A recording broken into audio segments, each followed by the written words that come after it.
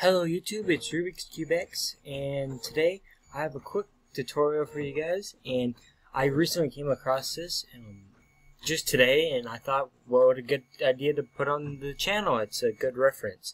Um, you might hear some noise in the background, that's my CubeX printing, and I'll explain what I'm printing shortly, because it kind of goes into why I'm making this video. So first off, I know many of you uh, when we use KISS KISSlicer, you do not have the Pro key yet, or you just don't need it, and that's where I am. Um, I haven't got into dual printing yet. I'll get there eventually, uh, but I'm not into doing two colors at once yet. Um, so I would have to purchase the the Pro key, and that's on the to-do list. But for now, I don't have the uh, the Pro key. And another thing is you can't import in KISS KISSlicer two objects that are different. You can duplicate one object, but you cannot create two different objects. So as you can see here, I have found a way to import two different objects into an STL file. And this is very quick, and I want to show you guys today. So let's minimize this, and um, what I decided to print is, I recently got into woodworking. I've been doing that for the last couple days. Um, that's why I haven't been video um, making videos recently, because um, I've recently made a table for my mom because um, she hasn't found anything she likes. So this is the finished product. We recently put a coat of gloss sealer on it, and it's that's what it looks like. So I wanted to progress and make more wood furniture because I really enjoy it. So I looked into making dove cuts, and um, if you don't know what that is, it's just it's a way to piece together wood. And I'm 3D I decided that I 3D printed this little template, but I didn't want to print this one and then have to go print another one, so I was messing around with how do I take this STL file and this STL file, join them together so I can print it at one shot.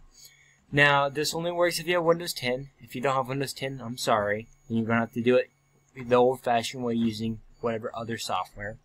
But what you do is you locate an STL file, okay?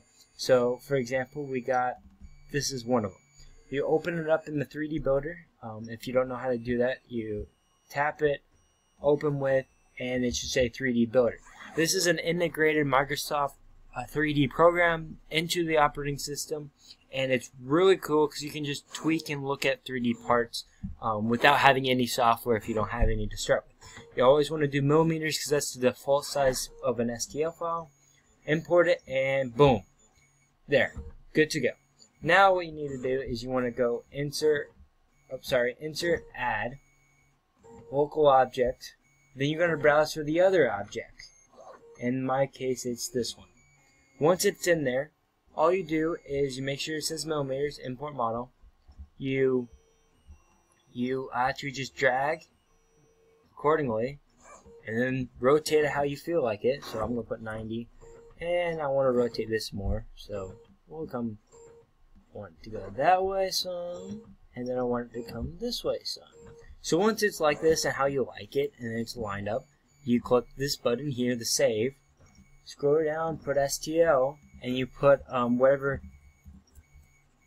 whatever title you want to do and then you save it. And then you save it as an STL you say okay I don't care about you.